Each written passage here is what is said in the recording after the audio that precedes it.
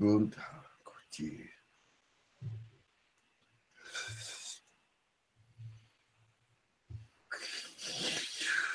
I'm Gunther. Oh, uh, welcome, welcome. Thank you very much for coming. It is a pleasure to have you. Uh, they are telling me there's no time. We have 15 minutes. All right. What? Um, just um, how are you? What's new?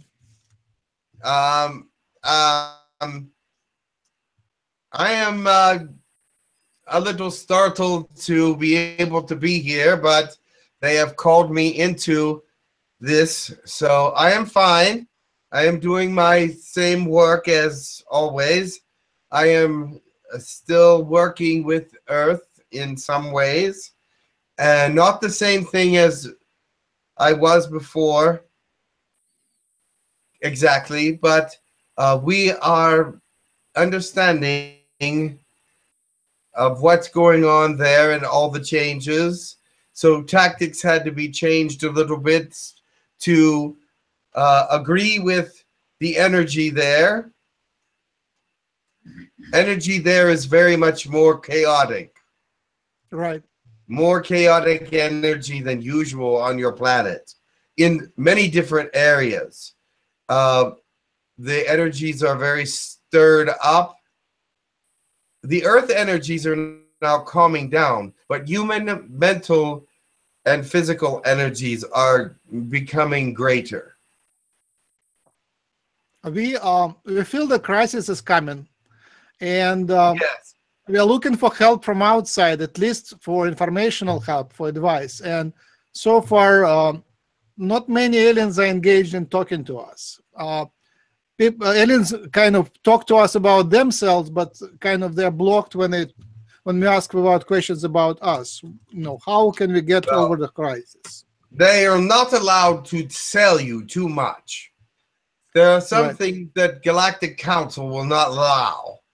So, but I'm from Earth myself, so I can take a few more liberties in the sense that I understand how humans are.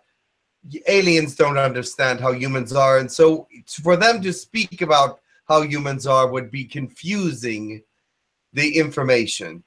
So I can tell you that the confusion on Earth is to some outbreaks in several different places, but not only in the United States, as you call it, but in other places around the world, they will start suddenly start to see that uh, the uh, intentions are not pure that are coming from different places, especially from the United States. They do not see pure intentions there, but yet it can be very uh, confusing to other countries because they do not look at uh, your culture the same way as you look at it with, while you're in it. You see, your country has many subcultures within it because it's large and they just see one particular view of the United States and it's usually not the best one and so they get uh, they have doubts and thoughts about what is coming next from that area and so they always take the negative side because that is safest if they if they expect something bad, then if bad comes, they are expecting it. If they are they go to the good side and then something bad comes, then they are taken off guard. So at this point, they are negatively focused, which is adding to the chaos. Uh, we are a group of light workers, and we are not as much involved in politics, but we are thinking about the future. And uh, what advice would you give us? Uh, we, we can meditate, we can channel, we can somehow network. What, uh, what would be our role? How can we help? You can continue to do what you're doing. Plus, you can, uh, whenever you go out into your public, you can engage in positive conversation. Bring up the positivity as much as possible. There's too much negativity in your larger cities. And you need to bring that positivity up. And it's hard with as few light workers as you have to do that. Also, be yourself. Your example and be yourself. There is so many out there that are say they are light workers, but they go into work and become just like everyone else. Uh, from my myself perspective, the situation is pretty much hopeless unless we have a miracle. Uh, and uh, the miracle can come either from aliens or from you guys, the humans outside, or from God. But we, we need can, a miracle one way or another. We can only give you so much. We are only we are few compared to you. Right. So, what's your perspective? Are you following the developments? What can we do? What? Uh, yes. How will it resolve? There. Well, it is those in power that are doing you you as light workers can only build your light energy and build your positivity. That is what i'm saying. Positivity though is much stronger than negativity. And so if you continue to work with building your positivity it will make a difference. Uh, comment on my idea. So my idea was that we work with Girk Fitneer to build uh, YouTube videos and uh, send them from up there, from your space, from out of the earth, to the earth to basically to disclose certain information. Is it too naive? No, they've sent some already, but they cannot be found easily. But whenever someone finds them, they are changed in their thought process about some things. This is good. Very good. Thank you. Uh, Pete has a question. Pete? Pete. I do not see Pete. I don't see. I think he dropped. Any more questions, people? Hello, um, it's Elena. Uh-huh. Elena. Um, I would uh, like to discuss the free energy that we have on our planet and uh, more people or scientists that are awakening and starting building generators and uh, sources uh, mm, or um, machines to collect this free energy. And um, as we know, the American government uh, years ago used to destroy these kinds of uh, machines. But nowadays, yes, uh, all but, over the world, yes, yes. But once, let me explain something and I have to be careful how I wear this so that it's not um, I'm not I'm not breaking any rules, but that technology will return. But it will take some calamities and disasters to bring it about. The okay. information that Tesla had about the energy boxes that could run households for indefinitely is not gone, but it is not apparent to you yet. Yes. Yeah, I'm I'm pretty con- concerned about it. If if that information comes out, uh, people might use it as weapons, right? How can it, it be solved? It can be used in negative ways, but it will be brought forth as a positive means of energy use. Okay. Any more questions? Yes, I have a question. It's Marlene speaking. Greetings. Greetings. Uh, you were talking about the Tesla energy boxes uh, there's a scientist known as Dr. Keshe on our planet who is working with a manufacturer in Italy. And he, they are manufacturing the smaller and the larger boxes. Are you referring to this? Those are, yes, but it will not become universal for a while. Manufacturing the smaller and the larger boxes? Yes. Yes, they are on the market. Dr. Keshe presented these uh, devices to ambassadors around the country. That was done in last April.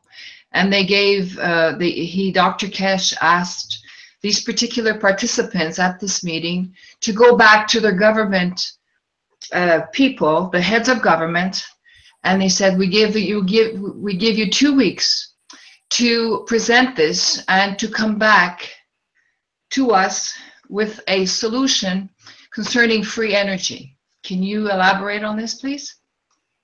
That will not happen in this economy uh, because it would mean the loss of millions, not just thousands, but millions of jobs. The people that are working with uh, electricity and different kinds of fuels that keep the your world in, within energy. Uh, it would be the collapse of the economy if they would agree to it now. It has to be a gradual movement, but there will be something coming in your future that will cause some collapse of these kinds of things and will bring that into a greater light and a greater understanding and a greater necessity. Thank you. Uh, what I'm, what I understand from this is um, that everything should happen a bit smoothly in order the positive vibe on Earth for most of the people to be in balance. That is interestingly said, sort of correct.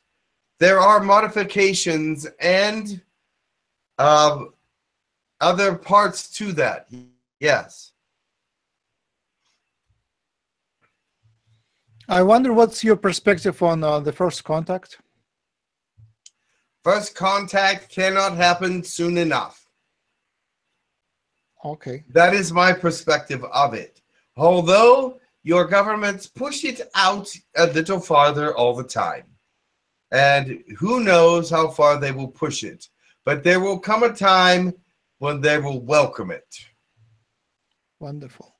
Uh, any any clues on disclosure, official disclosure, unofficial disclosure? Disclosure is happening little by little. Are you watching any? Go ahead. It disclosure is part of what what is happening in your society.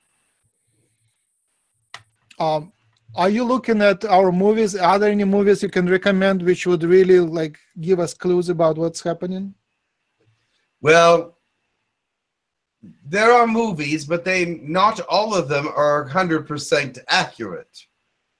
There are some like Arrival. If you've ever seen Arrival, I will check it out. That there are those species that want to come to the planet and make contact, etc. But there's so much missing from that movie that should have been added. And um, but that one is one that you should see because there are, are some facts in there that are actually true. Uh, have you experienced fourth density and how does it feel to you? Fourth density is, well, I'm from third density. Right. And experiencing fourth density was interesting, but I will tell you this I prefer the third. Wow. But in terms of physics, did you feel like you can travel time and fourth density? Can you walk in I, the morning? I felt, yes, I felt much different, but I couldn't get as much done. I uh-huh. felt uh-huh. like I was not able to control myself as much as in third density. Right. Uh huh. Uh, are we close to ascension? matter of control, and I do like to be in control. And in fourth density, it seems like there are moments when things are in slow motion, and I'm not a big fan of that. How is like, your health? How is your health? How is my health? Yeah. You are 70 or around that age, right? I'm in good shape for my age. So you're using alien technologies and you will live longer and you are very good shape, right? Yes. Nice to hear. Uh, somebody wanted to say something. I just wanted to say that um, from what he said about four density, and I understand his experience is uh, like under the, um, und like taking some drugs, for example. Yes. It, yes, it was unrealistic. After you get used to it, though, it is all right. But I still prefer my own density. I feel more at home in it, and I feel more comfortable with uh, how things work in the third density. Of course, what I have to do, I have to do in the third density. So perhaps that's why. And what what do you get to do every day? Like how? What do you do every day? Like I do my studies, and I do. Um, I have to keep an eye on the different cultures for different and particular reasons. Um, what's your take on ascension? Uh, are we really? Is it a legend or is it real? It is real. Ascension is real, but it's your perspective of it that can be very faulty. Ah, so what is faulty? How are we wrong about you ascension? See, I I am not allowed to discuss that because it's sort of philosophical. You must decide for yourself what the ascension is. The ascension is more than one thing. Some people think it is just one thing, but it is more than one thing. It is uh, the acceptance of telepathy. It's the acceptance of change. It's the acceptance of closer, closer spirituality to God. It's many things. Are we close to ascending to the next level, or is it a long process? It's a long process, but you have you there are some of your people that have already obtained it in some ways but for the whole planet to attain ascension will take quite a while did did you personally attend it? Attain it attained it? I attained it here but not there. Oh so you personally there have done that shift? We i have done the shift yes. Is it technologically or say again? I am telepathic and I am closer to understanding of what what personality, thoughts, and intellect are in each of my, my friends and relatives, and know that it is not something to be taken lightly or something that is external I internalize all my friends and the people that I love. Wonderful. Was it technologically assisted or just you did it spiritually? It was something that happened because of the examples of those around me. Wow. Was it human examples or alien examples? More alien than human. So is it right that present? They, go ahead, go ahead. But yet there was some humans as well the guidance was beautiful. So, is it right that communication with aliens physically helps ascension? It can, yes. I can't say it always does, but it can, yes. Wonderful.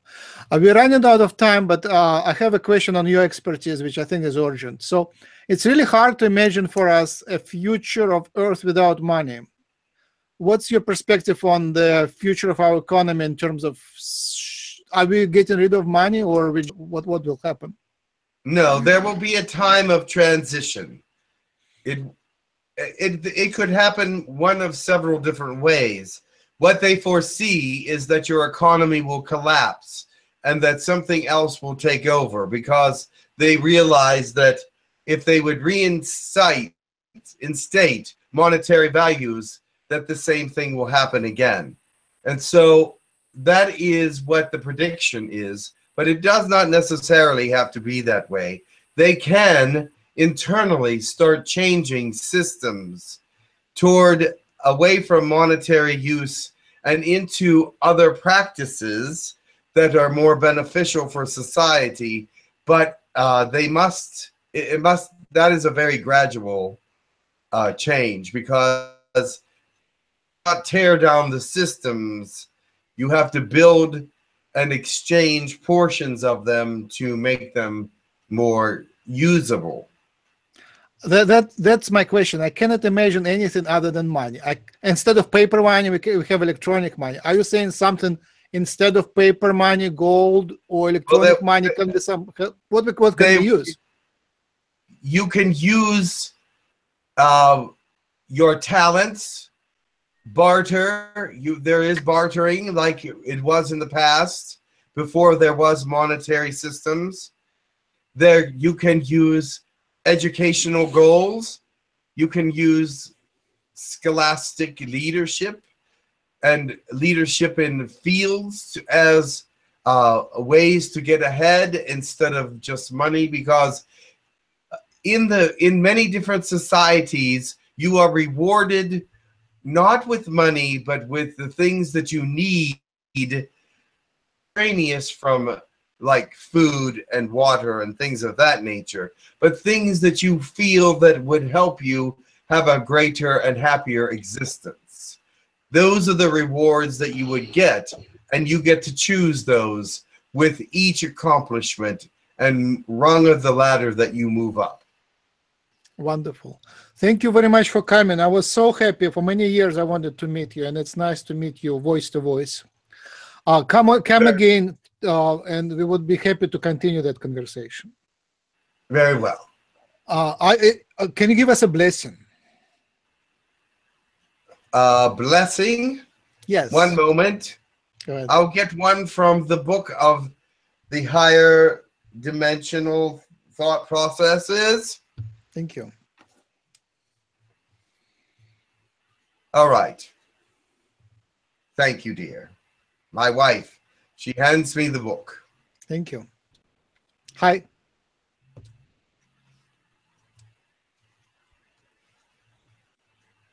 Well, I have to find one that's appropriate. Thank you.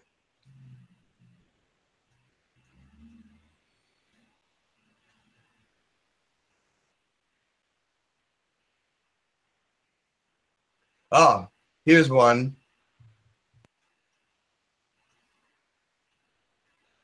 Let your heart be at peace. Do not fight in yourself who you are. You are, be the peace that overcomes all the trouble. Find out where you belong and put yourself in that place. For you are a piece of a greater puzzle, and you are light that shines through the window and if there is something blocking the light, will it not show up as a shadow? Do not be the shadow, but be the light, and let all things become undamaged and corrected and mended, so that you may know the perfection of who you are and that God loves the soul as much as he loves the person because the person is part of God's creation. He is not here to just be a leader and a guide, but to be your creation. You in yourself, your uniqueness, that is a word. Yes, your uniqueness as an individual is his pride and joy. Be not at odds with who you are, or be not at odds with who anyone is, for they are moving up like you are into the world of the unknown. Does not a flower break through the ground to see the sun because he is drawn that way, and then flourishes with all the other fertilizations and waters? That are all around. Let yourself be like that natural, growing, beautiful, and kept. Much love. Much love. Wonderful. Thank you much. Have a good day. Have a good day. Come again. Come again. Thank you.